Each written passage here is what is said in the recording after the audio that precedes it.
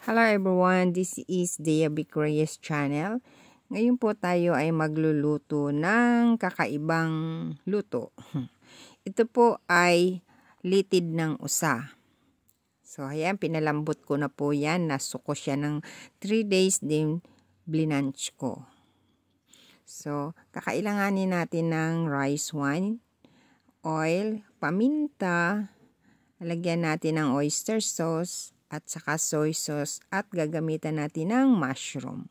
Siyempre, meron ginger, garlic, and shallot.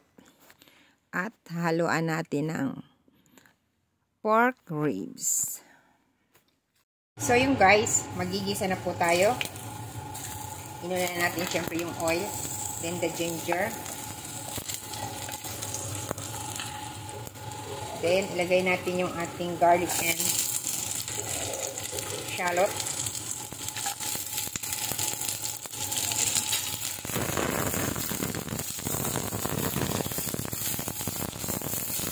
So, ayan guys.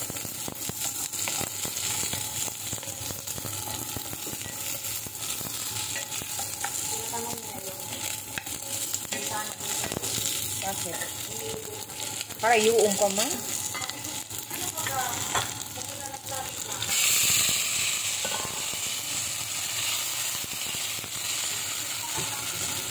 Natin yung ating spare ribs.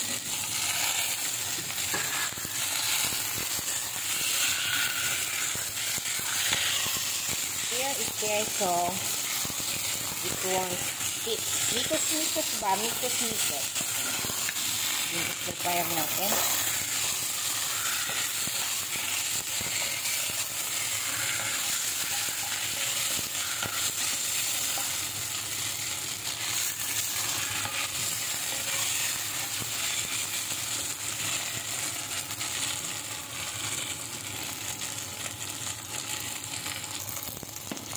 Then, ilagay natin yung ating rice wine.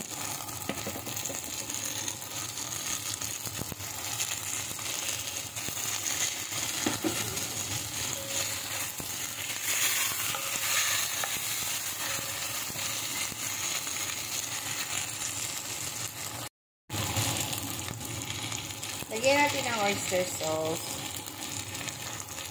Yan.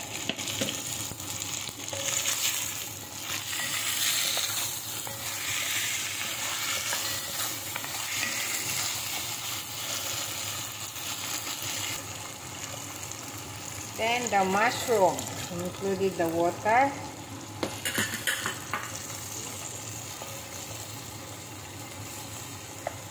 Then we can add more water para lumambot yung karne. Enough para maglambot yung karne.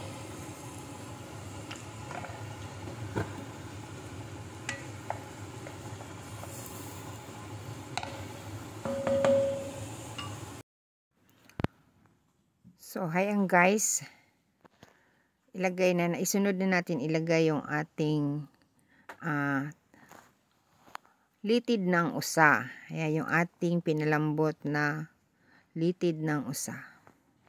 Sino sa inyo nakakain na nito? Then, takpan natin, pakuluin. So, hayan po siya guys.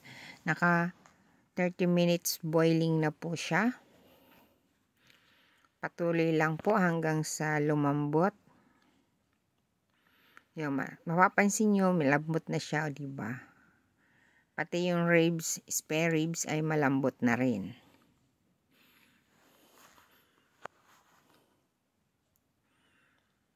Pwede tayo na maglagay ng seasoning, magic sarap, or nor cubes pang padagdag lang, pang enhance ng lasa niya. So, yummy na po siya. Pag medyo marami pang tubig, pwede natin gamitan ng cornstarch. So, ayan na po. Super lambot na po siya. Yan. Bye! God bless everyone!